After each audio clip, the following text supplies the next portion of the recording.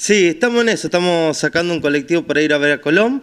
Lo único que no le podemos brindar a la gente es la parte de las entradas, que tienen que entrar a la página de la Conmebol y bueno, esperar porque veo que la están... Hay mucha demanda. Hay mucha demanda y la están guardando porque, bueno, según los comentarios dice que van a alargar más, así que estén todos la expectativa porque no te anuncian cuando las largan, así que bueno.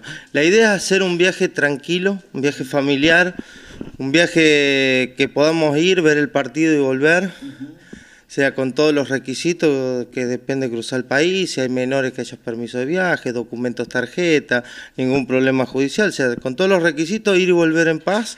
Y bueno, y para todos los hinchas del Sabalero será una fiesta, tanto ganen o pierda, calculo, porque la instancia es... Es histórica. Histórica, exactamente, una instancia que nunca se llegó, así que bueno, están todos emocionados, el tema es que están faltando entradas. Están faltando entradas. Nosotros acá estamos vendiendo el pasaje en 5 mil pesos en semicama y en 6 mil pesos en cama. Le damos servicio de minicena en viaje de ida, coordinación para que puedan hacer los trámites en la aduana tranquilo, servicio a bordo también y bueno, los colectivos bueno ya, ya los conocen, así que estamos acá y bueno, y después también lo pueden pagar con las tarjetas locales, la Visa o Master también puede ser. O sea, plan de financiación hay. Bien, la gente ya conoce la excelencia de, de los coches. Fernando, ¿el horario de salida ya está estimado o aproximado? Mira, la idea es estar con bastante tiempo anticipación. Por dos motivos. Eh, uno es el cruce de la aduana, porque va a haber mucha gente, o sea que hay que hacer las cosas tranquilo. Y segundo, por dónde se va a retirar las entradas.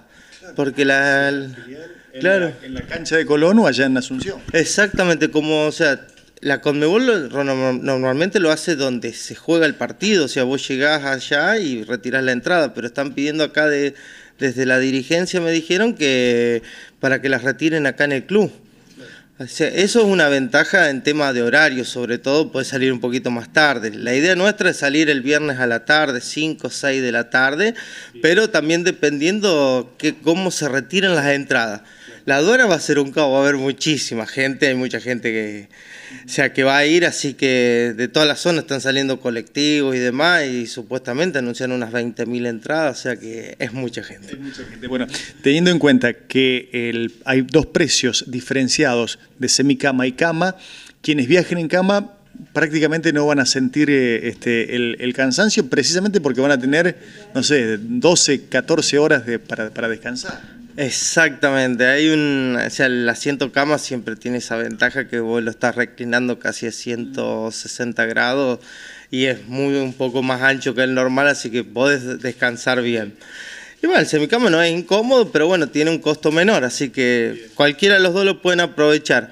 Te digo que tengo, si tendría 40 camas y 12 semicamas, las camas se irían más.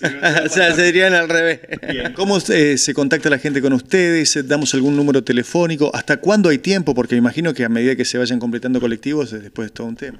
Sí, es todo un tema. Eh, bueno, nosotros ya tenemos uno completo, así que ahora ya vamos por el segundo. Eh, se pueden contactar, bueno, a través de la página, de la fanpage del, de Facebook, que es San Carlos Viajiturismo. Se pueden contactar a los teléfonos 03404-421-260 o 421-976. También lo pueden hacer a través de Instagram, como Turismo San Carlos 2, o el celular de la agencia, perdona que no me lo acuerdo de memoria. El celular.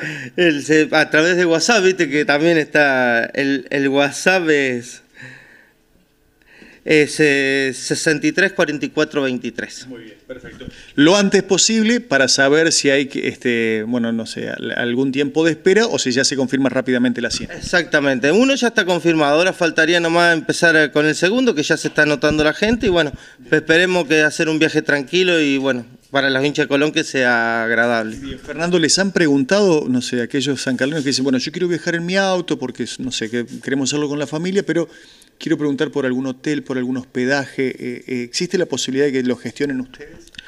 Mira, Fred, yo te voy a ser honesto. No, le estamos, no estamos consiguiendo ningún tipo de hotelería en lo que es Asunción y está la parte de Clorinda tampoco.